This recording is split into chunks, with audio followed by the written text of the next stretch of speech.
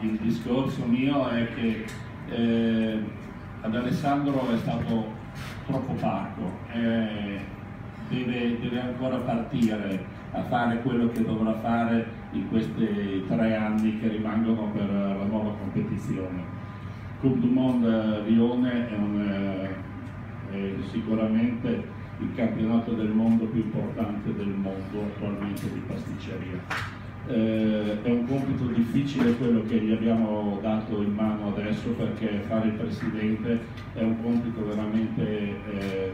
particolare, particolare perché l'ho vissuto sulla mia pelle, si tratta di gestire degli equilibri, si tratta di gestire eh, qualche cosa che poi nel pomeriggio ne parleremo. Se prima eh, vi hanno detto che qualcuno ha lavorato anche l'ultimo dell'anno e nelle festività comprese, questi ragazzi lo devono ringraziare il sottoscritto ecco, perché hanno fatto eh, tutte, tutte, tutte, queste giornate qua, però quando il gioco ne vale la candela credo che ne vale la pena.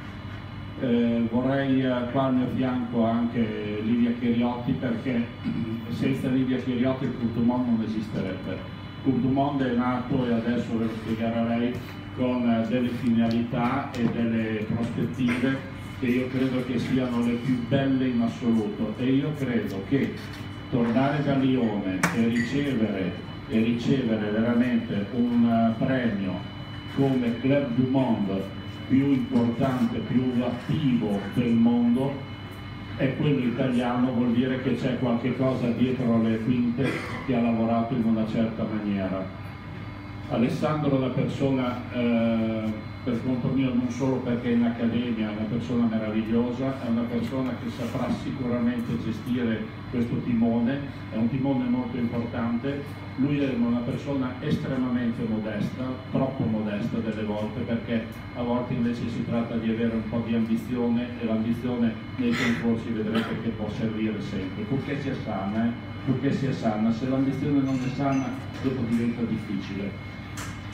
Livia, due parole perché ci terremo perché lei è veramente il cuore di, questa, di questo club. Eh, l'ha voluto lei, l'ha voluto anche con la mamma perché bisogna ogni tanto anche dare a Cesare quel che è di Cesare perché la mamma è stata veramente un artefice, è sempre stata una grossa preoccupazione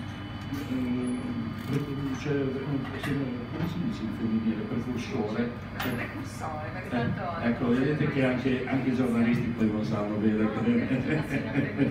al, al, al femminile adesso è stato difficile, però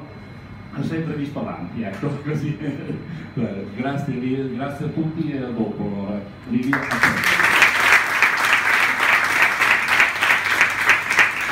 Grazie a Gino Fabri, ma mh, la presenza di Gino Fabri e di Alessandro Dalmasso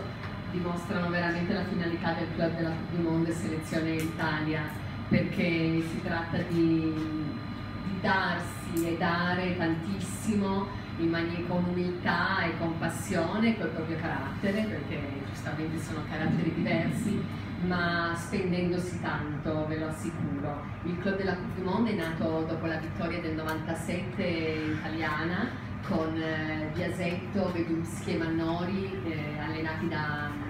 Virginia mm, Massari. Nel 97 l'Italia vinse la medaglia d'oro a Lione e da lì nacque la necessità di creare un'entità un qua in Castalimenti che permettesse gli allenamenti che sono ovviamente onerosi. In quegli anni poi non, non c'era nulla, non, non c'era ciò che c'è oggi e che vedete oggi non c'era tutti questi campioni che si formano, che hanno una squadra attorno e tutto quanto. E nasce da un'intuizione, un'idea di Gabriel Paillasson. Gabriel Paillasson è questo grande pasticcere francese che ha inventato eh, la Coupe du Monde di Lione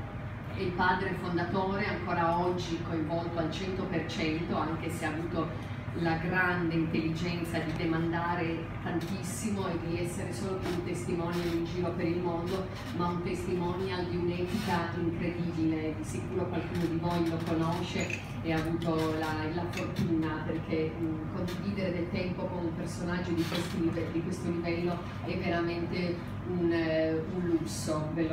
e io sono molto contenta che noi tutti siamo amici di Gabriel Payasson. Lui ha voluto in giro per il mondo questi club perché facessero quadrato attorno alle squadre, permettessero di arrivare a Lione preparati e anche sostenuti economicamente, perché è chiaro che chi si allena e chi rappresenta una nazione in questi eventi spende molto e quindi era necessario creare un gruppo di competenze diverse che potesse sostenere negli anni tutto quanto. Il club della Coupe du Monde Selezione Italia ha lavorato talmente bene dal, dal 2000, eh, prima come presidente Luigi Biasetto per diversi anni, veramente illuminato e determinato, ha portato tantissime squadre fino a Lione e poi con Cino Fabri e oggi col passaggio ad Alessandro Dalmasso. Eh, questo club italiano è ritenuto da Lione e da tutti gli altri club mondiali l'esempio più limpido e più brillante a livello mondiale e questo ci gratifica ogni volta che andiamo a Lione perché poi nel 2015 grazie a questo magico trio abbiamo riottenuto un oro a cui tenevamo tantissimo eh, però già prima eravamo sempre, sempre premiati come il miglior club, il più operativo, il più attivo, grazie appunto a una squadra che ha sede qua eh, a Castalimenti. Non mi dilungo perché volete vedere lavorare questi tre signori, eh, devo dire che dal 2015 a oggi mh, quello che ho ammirato molto in loro tre è questa capacità di non fermarsi, di non sedersi sugli allori, come si suol dire, di non sfruttare eh, in maniera solo bieca questo, questo titolo, ma di vederlo come un'opportunità e come anche un'occasione di condivisione. Da, da gennaio 2015 a oggi hanno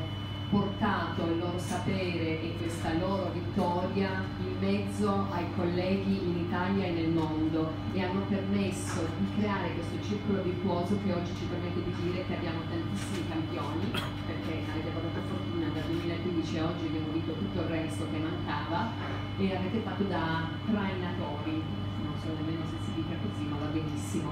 E quindi è, è bello l'esempio, l'esempio che abbiamo voluto che chiudesse il Pastry Camp perché è l'esempio che dobbiamo portarci tutti nel cuore, essere da traino a noi stessi in primo, ma